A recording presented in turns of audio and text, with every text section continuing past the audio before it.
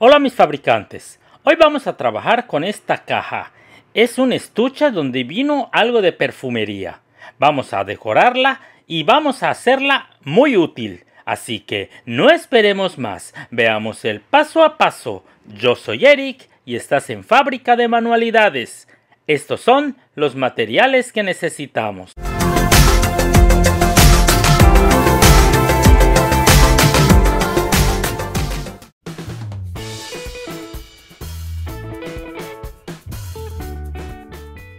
Vamos a hacer un trabajo bastante rápido. Voy a utilizar esta caja. En esta caja vino perfumes. Ya saben, muchos estuches de perfumería vienen con este tipo de cajas que son bastante gruesas y que podemos darle una vida muy útil. Es decir, eh, podemos decorarla y usarla en lo que más nos guste. Y lo que voy a hacer primeramente será pintar esta caja, la parte de la tapa, por todo el exterior, utilizando esta pintura acrílica en color blanco. Vamos a darle dos capas, dejando secar entre capa y capa. A la otra pieza, la parte de abajo, solo le vamos a pintar el exterior también y la parte, por, por supuesto, la parte de abajo.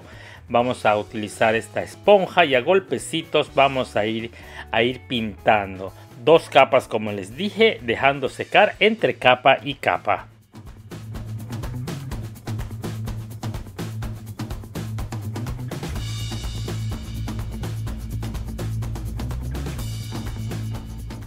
Aquí pueden ver que ha secado ya cada una de las piezas de nuestra caja, la parte de abajo y la parte de arriba que es la tapa completamente de blanco y cierra muy bien. Es decir no le pusimos una capa gruesa de pintura por eso cierra muy bien.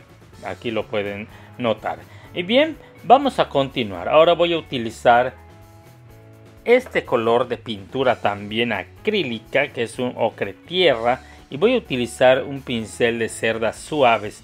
Vamos a darle dos capas también eh, en la misma, las mismas partes, es decir, en la parte de la tapa vamos a pintar toda la parte que está de blanco, pero en la otra pieza solamente vamos a pintar los costados, estas partes que estoy mostrando. Y bien, vamos a pintar todo como les digo y dejamos secar muy bien.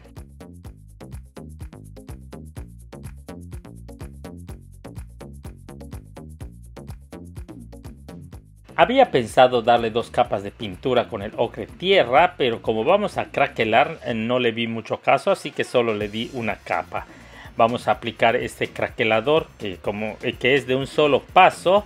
Eh, vamos a estirar con un pincel. Es necesario que tenga bastante producto para que el craquelado sea bastante grueso. Entonces aplicamos a toda el área de la tapa, es decir, a la parte de arriba y los costados y vamos a dejar que seque, que seque muy bien, es decir, que parezca que ha secado completamente. Ahorita está haciendo mucho calor y creo que unas dos o tres horas eh, me va muy bien para el secado.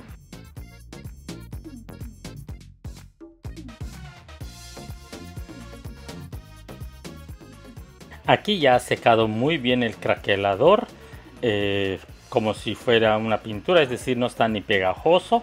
Y bueno, pues vamos a aplicar la pintura que va por encima. Voy a utilizar este color marrón eh, que se llama eh, cocoa, es un color cocoa vamos a aplicar con un pincel de cerdas suaves dando por eh, varias direcciones para que el craquelado sea también igual eh, por varias eh, direcciones. Recordemos no debemos pasar el pincel donde hemos pasado es decir cuando haya craquelado vamos a poner entonces con mucho cuidado tratando de no dejar ningún espacio sin pintura. El craquelador este, hace su función muy rápido. Pueden observar que ya empezó a craquelar por donde puse primeramente la pintura. Bien, aplicamos por toda el área y dejamos secar.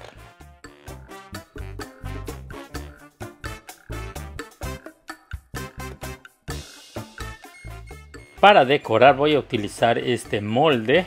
Eh, es molde de silicón que acabo de adquirir, muy bonito tiene la figura como de un ángel y bueno toda esa parte de abajo preparé porcelana fría es decir la pinté en el en color marrón pero sí me costó mucho trabajo porque eh, está haciendo un calor eh, muy fuerte por aquí, aquí en mi tierra, en Yucatán.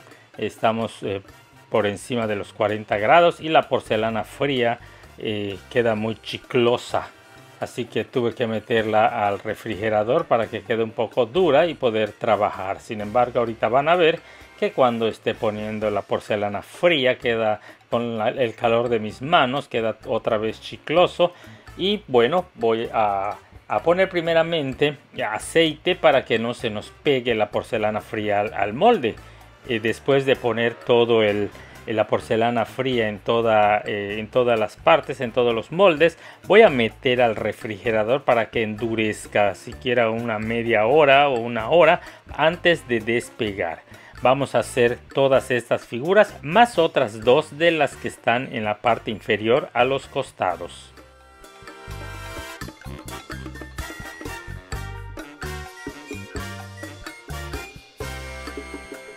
Aquí ya estuvo en la nevera, ya pueden observar que está dura la porcelana, no seca, pero sí dura. Con el calor se vuelve a suavizar y pueden observar que me quedaron algunas rebabas eh, en las figuras. Para ello voy a utilizar unas, tijeras muy pequeñitas para ir retirándole todo, todo lo que nos, nos quedó de rebaba. Eh, vamos a recortar con mucho cuidado y vamos a dejar que, que se oreen, que, que se sequen un poco antes de pegar a la caja.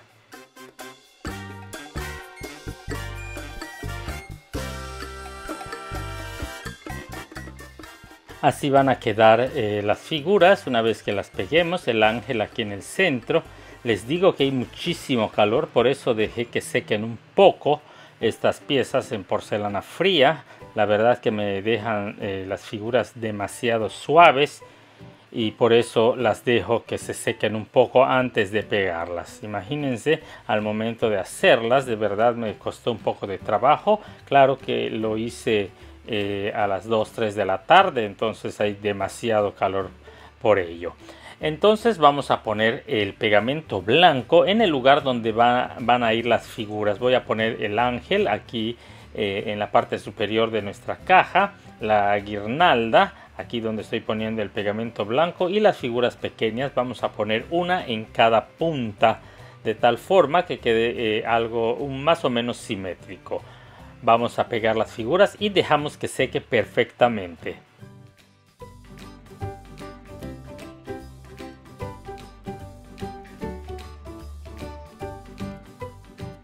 Ya han secado las figuras de porcelana fría, miren qué bonitas están.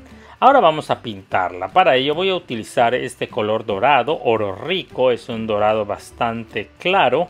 Eh, y vamos a hacer la técnica del pincel seco con un pincel de cerdas duras vamos a, a ponerle pintura descargamos bastante y vamos pasándola sobre las figuras cuidando de no manchar el craquelado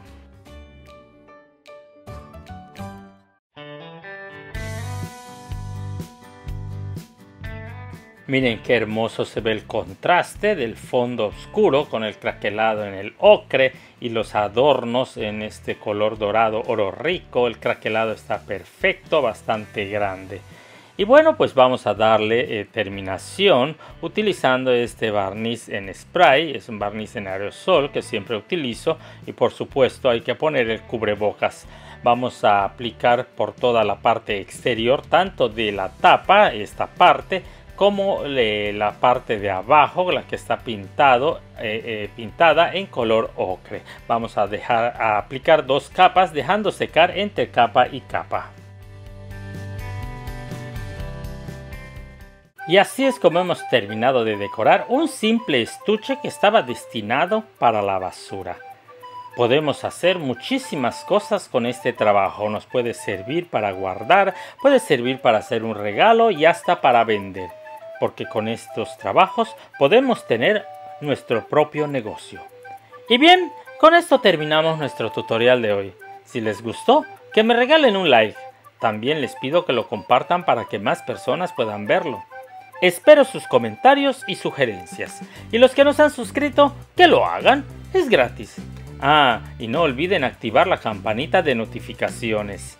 Eso es todo amigos. Nos vemos en el próximo video.